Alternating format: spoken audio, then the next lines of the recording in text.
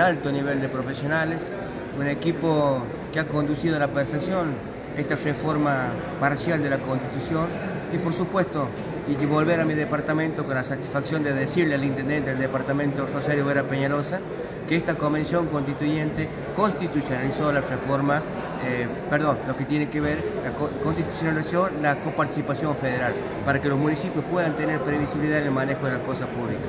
Le puedo decir a la gente de mi departamento que eh, se aprobó y, se transformó en un derecho a la conectividad, teniendo en cuenta que el 80% de las escuelas rurales de mi departamento está faltando conectividad. Hoy es un derecho.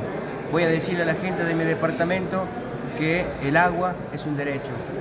Entonces, la satisfacción del deber cumplido y haber aprendido mucho e irme con mayor humildad y con la grandeza de saber que pertenezco a una provincia con principios netamente federales. Pero por sobre todas las cosas que conduce esta provincia el gobernador nos ha dado la posibilidad de que nosotros hoy pasemos a la historia con una reforma parcial de la Constitución que yo creo que va a ser vanguardista, no tan solo a nivel nacional, sino también a, nivel América Latina. Muchas gracias. Gracias a usted.